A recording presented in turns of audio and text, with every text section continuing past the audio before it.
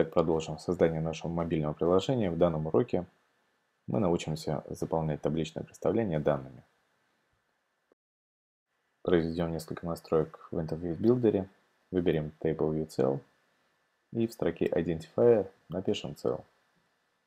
Выберем стиль табличной ячейки. Мы можем ее полностью кастомизировать, либо воспользоваться готовым вариантом. Выберем вариант Subtitle. В нашем приложении по тапу на ячейку будет осуществляться переход на другое окно, поэтому хорошей практикой является проставление соответствующего аксессора индикатора, что мы и сделаем.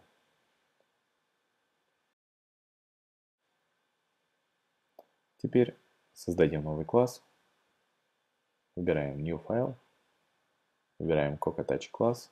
В закладке iOS Source, нажимаем Next – качестве наследника выбираем UI Table View Controller. Дадим наименование нашему классу Main Table View Controller.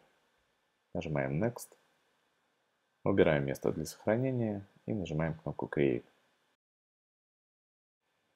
Теперь назначим данный класс для окна нашего мобильного приложения. Скопируем наименование класса, перейдем в интерфейс Builder, выберем наше окно Зайдем в соответствующий раздел верхнего таб-бар меню правой вкладки и в поле класс скопируем наименование класса, который будет обрабатывать данное окно. Теперь напишем немного кода. Первое, что мы сделаем, это объявим свойства массива, в котором будут содержаться наши данные. В поле интерфейс набираем property, круглые скобки, внутри которых пропишем nonatomic, запятая strong. Затем ns mutable array.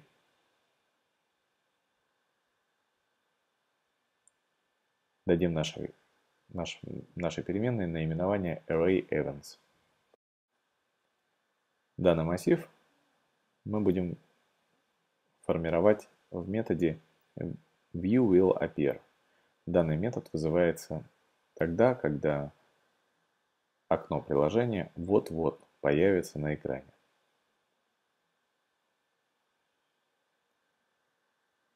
Указываем self.arrayEvents, ставим знак равно, открываем квадратные скобки, пишем nsMutableArray, alloc init with objects. В качестве эксперимента, для того, чтобы проверить работоспособность нашей, нашего табличного представления – мы просто поместим внутрь массива три строки. Не забываем в конце ставить nil, и объекты, которые размещаются в массиве, перечисляются через запятую.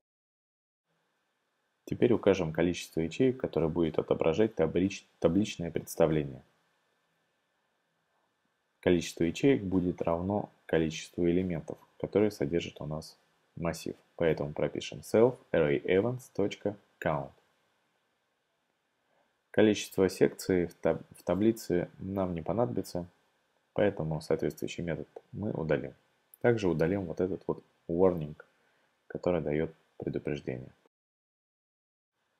Теперь создадим табличную ячейку.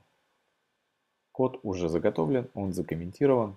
Мы снимем комментарии и сформулируем то, что будет демонстрироваться на экране. Запишем NSString с переменной identifier и запишем значение cell. Ровно то же самое, что мы записали а, в интерфейс билдере. Переменную данного объекта мы поставим в заготовленное место в коде и необходимый метод будет создан. Теперь напишем nstring с переменной string и укажем, что этот nstring равен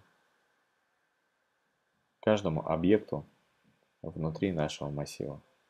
Так как количество ячеек и количество элементов в массиве идентично, ошибки не произойдет. То есть таблица отобразит ровно то количество данных, которое имеется в массиве. Теперь укажем cell.textLabel и обратимся к свойству текст, поставим знак равно и скажем, что текст будет равен каждой строке в массиве.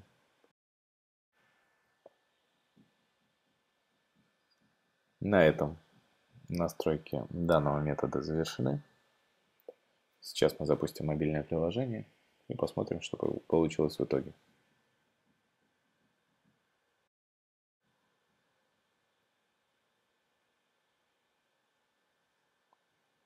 Нажимаем кнопку Run и подождем, пока симулятор загрузится.